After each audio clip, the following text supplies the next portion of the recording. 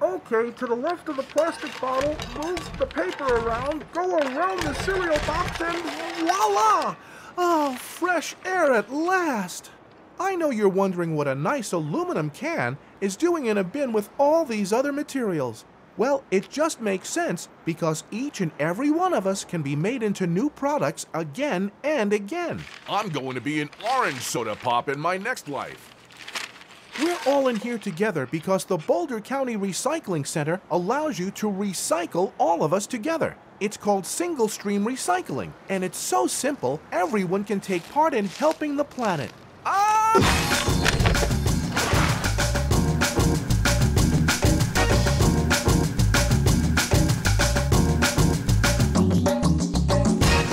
Welcome to the amazing Boulder County Recycling Center. This place is chock full of state of the art equipment that takes in recyclable materials all mixed together from your homes, schools, and businesses. The materials are then sorted, screened, shaken, and baled so they can be resold and made into new products. So put on your hard hats and let's see how it all works.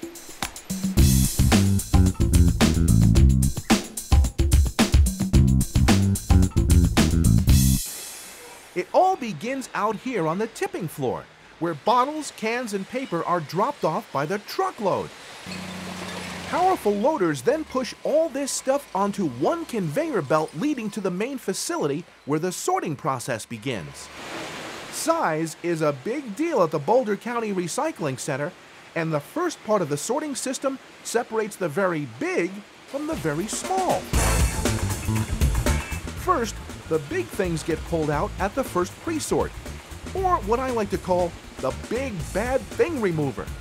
These quick-handed people go through all this and pull out larger bad things that are very damaging to the recycling system.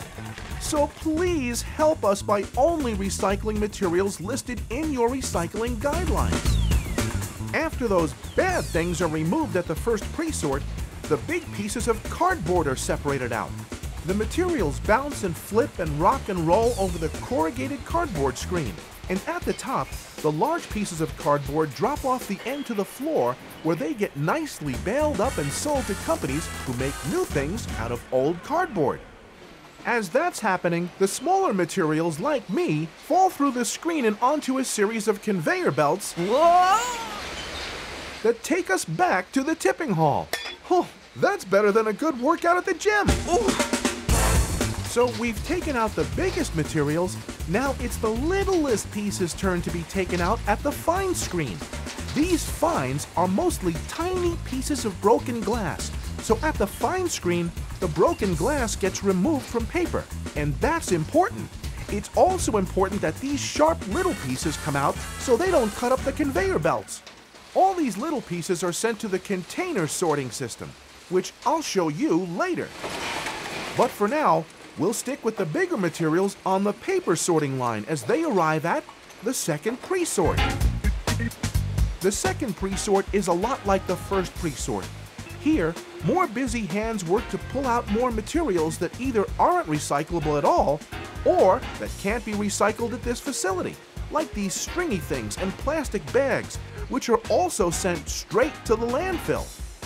Plastic bags are some of the worst contaminants at the recycling center, so please, instead of bagging recyclables or sending your plastic bags here, take them to participating grocery stores or the EcoCycle City of Boulder Center for Hard to Recycle Materials, also known as CHARM. And here's a hint. Make sure the bags are clean and dry when you drop them off, or they'll still end up in the landfill. Or better yet, avoid using plastic bags altogether by bringing your own reusable bag to the store. Back on the line, in addition to pulling out non-recyclable materials, these workers also sort out the remaining smaller pieces of cardboard and paperboard, like cereal boxes and shoe boxes, which are dropped down dark chutes, baled, and sent to market to make new products. Take it away, good buddy! After going through the second pre-sort, the materials head to the screens, or more specifically, the fancy double-deck paper screens. Remember how the first part of the sorting process was to separate the very big from the very small? Well, here at the paper screens, we're separating the containers from the paper. Here's how it works. The double-deck paper screens separate flat objects like paper from round or three-dimensional objects such as plastic bottles, steel cans, milk and juice cartons, and aluminum cans like me. The flat papers are what we call mountain climbers. They literally climb up layer after layer of specially designed rubber discs all the way to the top deck. But containers like me can't climb the rubber discs. We're like boulders in the middle of an avalanche and we fall backwards onto another screen. Meanwhile, at the top deck, the clean paper takes a flying leap off the end and onto a conveyor belt leading to quality control stations, where workers remove any remaining contamination. Paper making it past these folks heads to a bunker and waits patiently to be baled and sent to paper markets.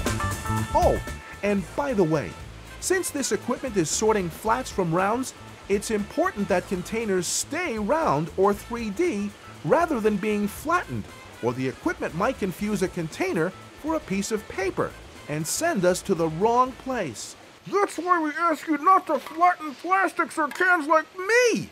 And please be sure to ball your aluminum foil rather than flattening it. But let's back up to the double-decker paper screens, where all of us containers fell down while the paper kept climbing. We didn't quite get all the paper and containers separated, so we do the whole process over again on the bottom deck. Even after that, we still have some paper with us, so we need to climb one last mountain, uh, I mean screen, and this time we're talking about the banana screen. Yep, this screen is a much steeper climb than the first two. But don't worry, because here the paper has some help with the climb the air system. The air system provides air that blows against the paper. That helps the paper stick to the star discs so they can climb to new heights and up, up, and away over the top.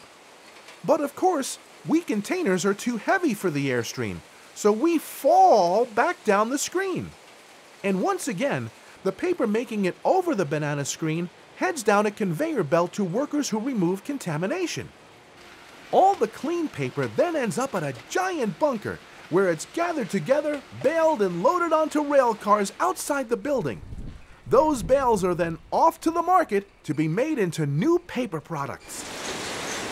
Back inside the plant, my container friends and I have gone through three screens to remove the last of the paper. Except, you'll see there is some paper still here. Shredded paper. The shredded paper fell through the cracks between the rubber discs and is still here with the containers. This stuff wreaks havoc on the systems, especially once it gets wet and literally glues up the works. Please don't put your shredded paper in your recycling bin at home, at work, or at school. Instead, compost the shred in your curbside compost bin. Back on the line, now that the paper is separated out, it's time for all the containers to move through the container sorting system.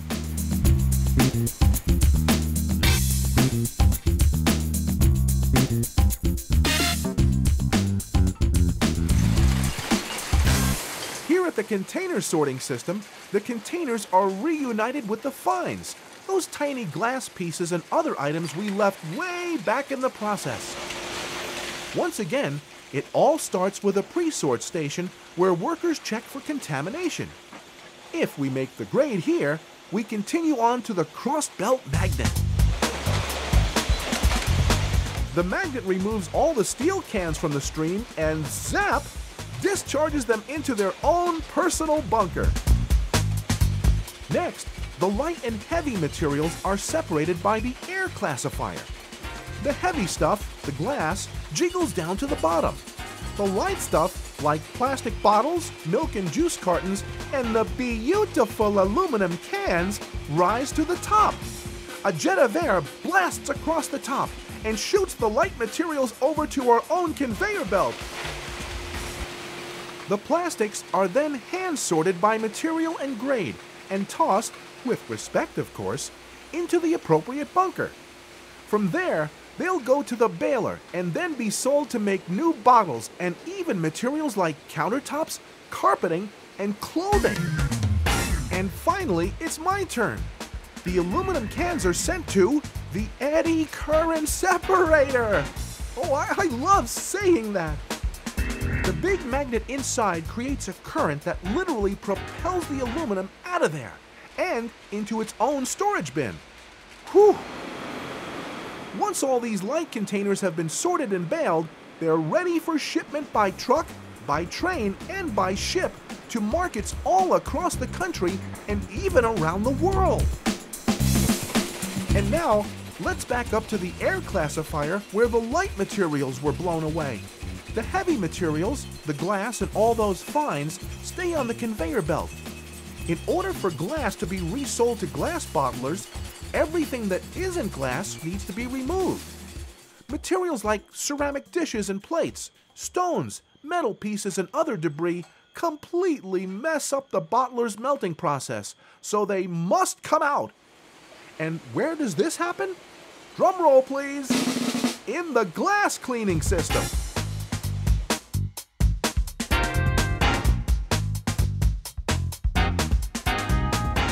As we've seen with the other sorting equipment at this facility, the glass system is still about size. So the large and small glass pieces are separated by some really fun equipment.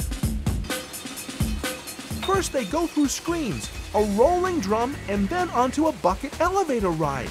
It's like a glass amusement park. I think I'm a little jealous. As the equipment shakes, breaks, and rolls, the glass is transformed into pieces no bigger than two inches across. Yahoo! After that ride comes another group of friendly hands to remove any plastic or other containers that slipped under the air classifier ride. But not to worry, these materials are hand delivered back to the container sorting system where they belong.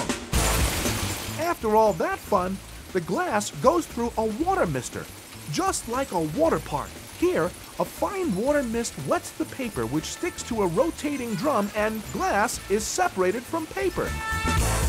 But wait, there's still more cleaning to do. The glass travels through another vibrating screen and under a vacuum. The vacuum sucks up any remaining small pieces of plastic and paper and sends it to what's called the cyclone, where a centrifugal force pushes the paper and plastic out of the airstream and into the compactor for disposal. Yes, you may think the glass is having too much fun, but now it's time for some serious undercover work. It all takes place in a box called the KSP unit, where ceramics, stones, and porcelain and additional contaminants are removed. This special unit is equipped with two optical detection devices, and it's the main reason the Boulder County Recycling Center produces clean glass like nobody else in the business. As the glass moves through the machine, special cameras watch. Light beams are shot at the glass, and the camera can tell if the light goes through the glass. If it doesn't, a computer connected to the KSP knows the material is not glass and that it must be removed. The computer signals air jets to push the non glass materials out and onto a conveyor bound for the landfill. What's left is clean glass, free from paper, porcelain, stones, ceramics, and other non glass materials that is conveyed into a storage bin and later transported to bottle manufacturers to make glass bottles. This glass sorting system is effective, but it sure took a lot of energy to remove those materials that should not have been put in the recycling bin in the first place.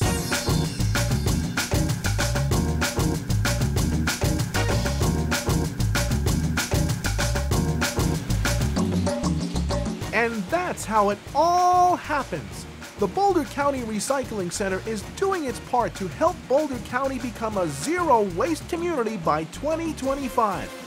But because we're all in this together, remember to reduce, reuse, recycle, and compost.